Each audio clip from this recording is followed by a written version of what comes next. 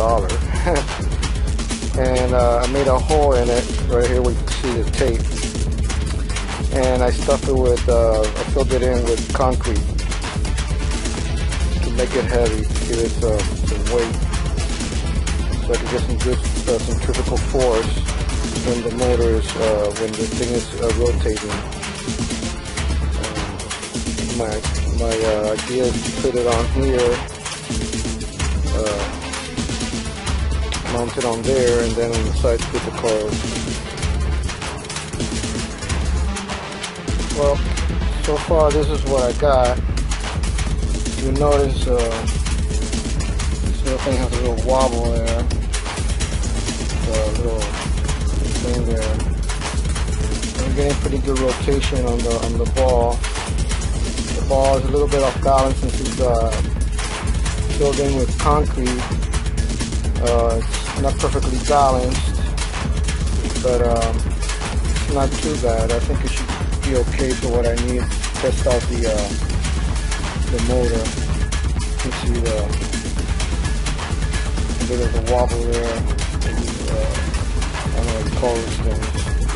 But I managed to put this uh, bracket here, keep it from going this way, and uh, the bracket here to keep it going that way. So it can have its space to it, so it can move around.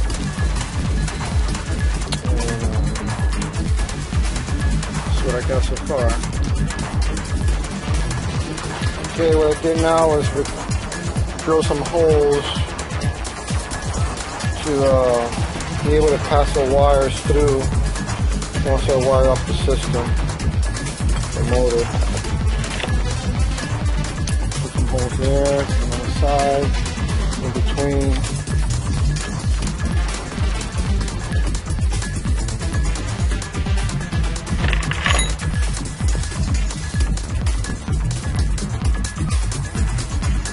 Not sure the, the diameter of the of the hole, but I'm guessing it's about an inch and a half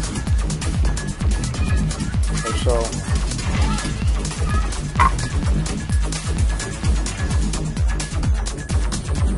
Well, now I've just added the uh, magnets to the ball. As you can see, I have four on this side.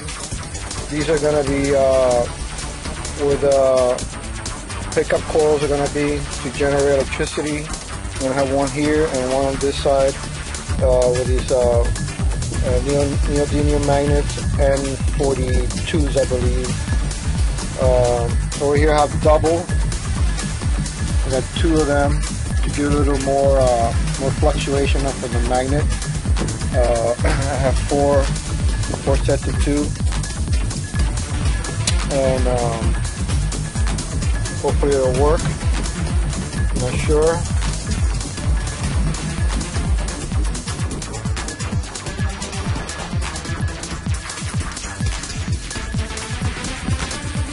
That's where right now.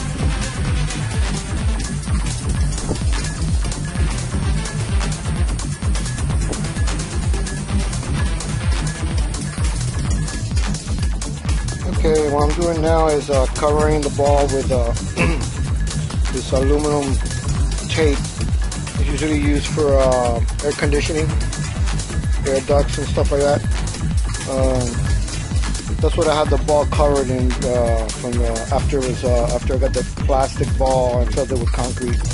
Um, right now I'm covering the neodymium magnets with this uh, aluminum aluminum foil tape. That way, when the ball starts uh, spinning, it doesn't the, the magnets don't fly off. The the neodymium magnets are uh, glued on there with uh, with a glue gun. They hold on pretty good, but just in case, also makes it look kind of cool. All right.